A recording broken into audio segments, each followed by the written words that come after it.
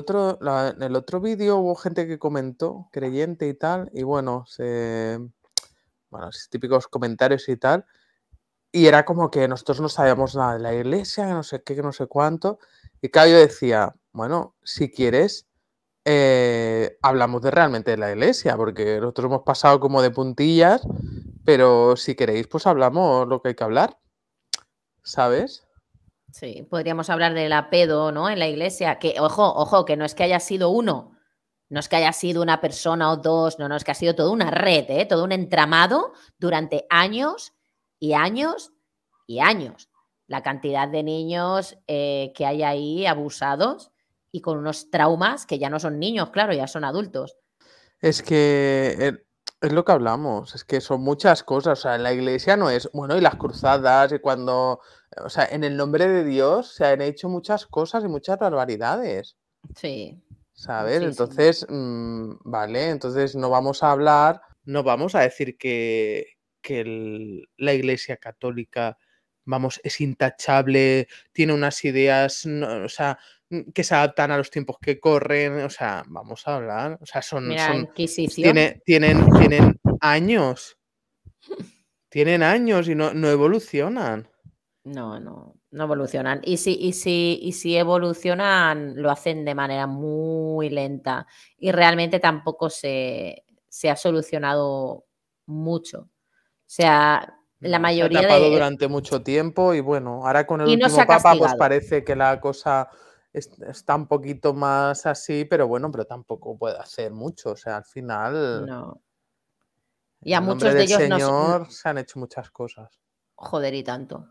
Pero que quería decir que a muchos de ellos se les ha protegido para que no saltara, para que no saltara el escándalo, pero en lugar de estar en la cárcel, estas personas están en un retiro.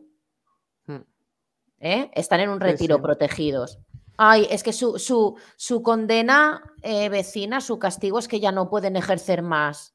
Vaya. Vamos. Es que, claro, son muchas cosas que tampoco nos vamos a poner aquí porque ya hemos dicho que al final respetamos eh, la creencia, ¿eh? no, no la institución, no la iglesia, pero sí la gente que, bueno, que cree en la bondad de esto todavía.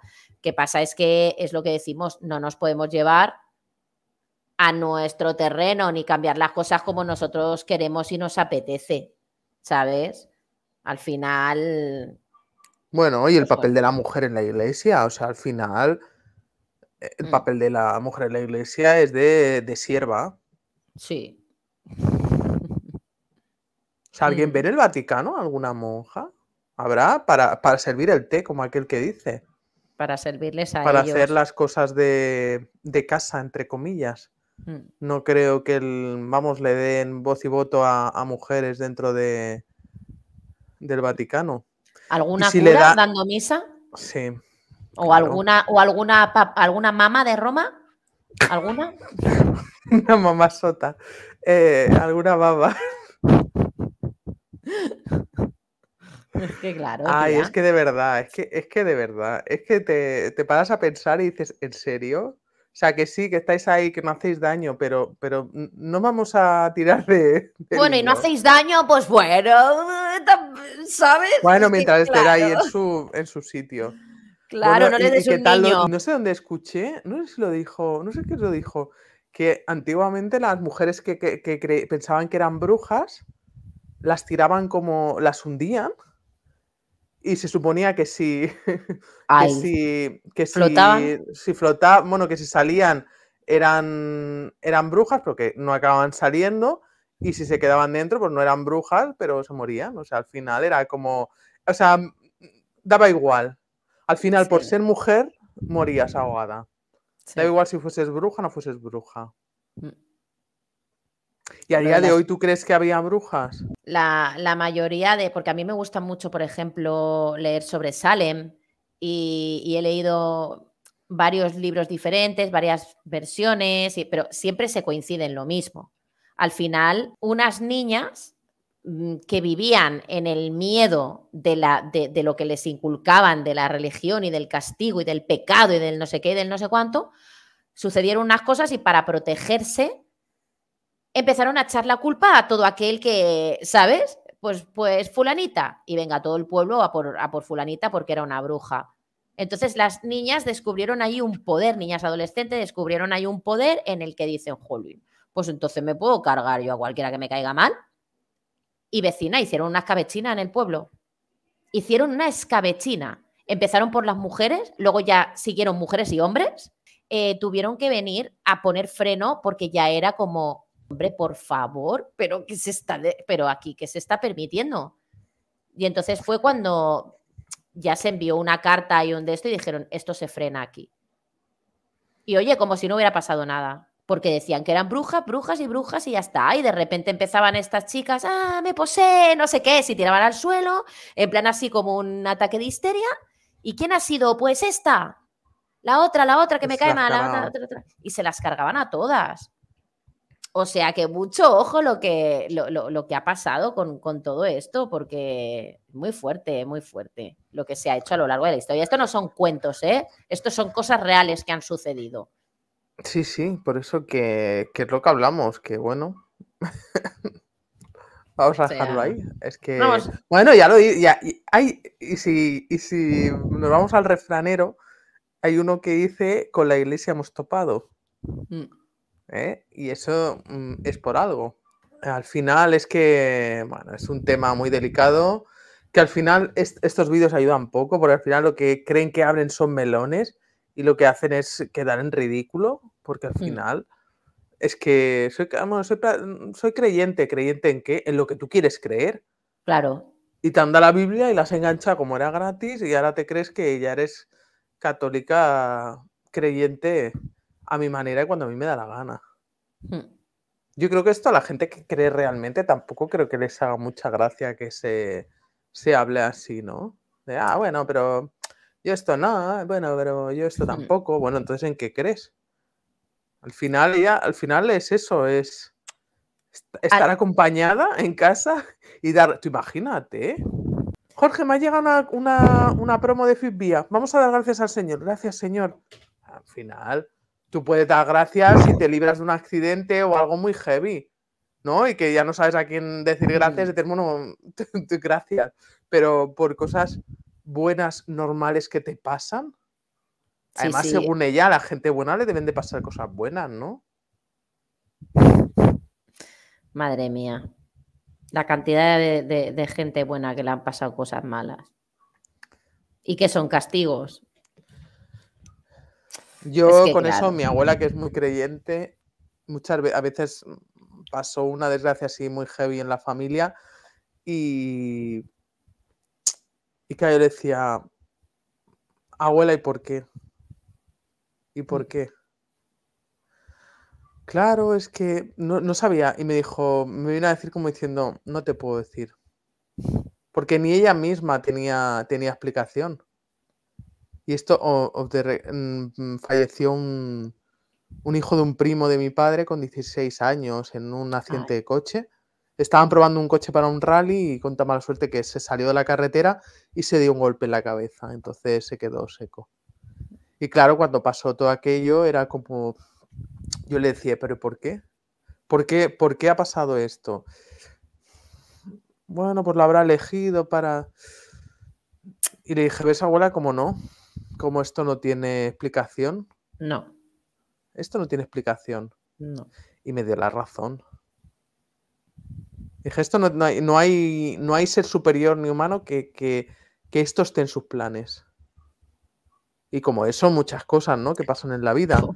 Pero, pero por eso te digo, al final, con todo lo que pasa en la vida, con todas las desgracias, enfermedades, pandemias, plagas, de todo, aún así se sigue creyendo y se sigue justificando. Al final se le da un poder al ser superior que parece que elija todo esto y que envíe las cosas porque sí, y no es así, las cosas pasan porque tienen que pasar, casualidades, el destino, lo que sea. Pero aún así nos seguimos encomendando porque te pase algo bueno en la vida. ¿Sabes qué quiero decir? Mm, sí.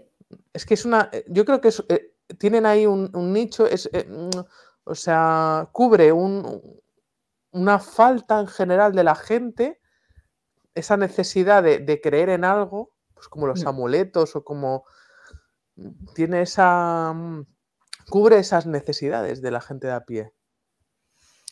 Y, muchas veces recurre la gente cuando tiene un, problema en su vida muy grande o cuando le ha pasado algo muy fuerte, porque yo me acuerdo cuando hace, hace poco hablamos de este tema, que es de una, una actriz de telenovelas eh, mexicana que hizo, también la, famosa serie esta de Rebelde, ¿sabes? Eh, no, me, acuerdo ahora del nombre, ¿eh? de verdad, de esta chica, pero bueno, ella explicaba que como su madre la había metido desde bien pequeñita a, actuar, hmm y había estado explotada, pero explotada de una manera muy bestia, manteniendo a la familia, no sé qué, y todo dependía de ella, siendo muy pequeña, ¿eh? Yo creo que desde los nueve años hasta los 16 o 17 que creo que se retiró.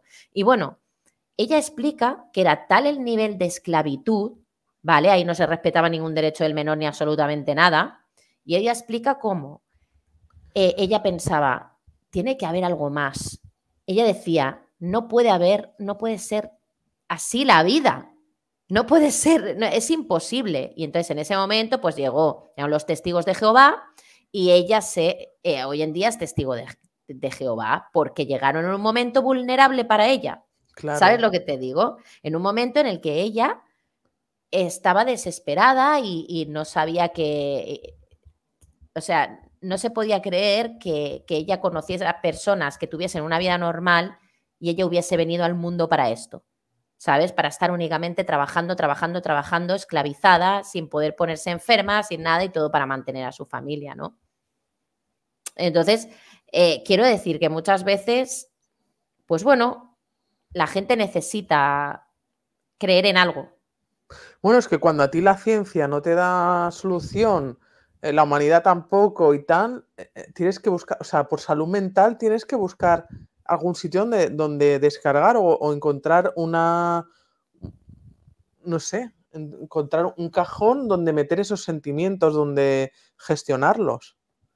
Sí. Y como no hay manera humana de, gestionarlos, pues, mm, mm, pues lo, haces, lo haces por ahí. Sí, sí, sí. Es que al final, si la ciencia tuviera respuesta para todos, si los seres humanos también la tuviesen, pues no, no necesitaríamos la religión. Sí.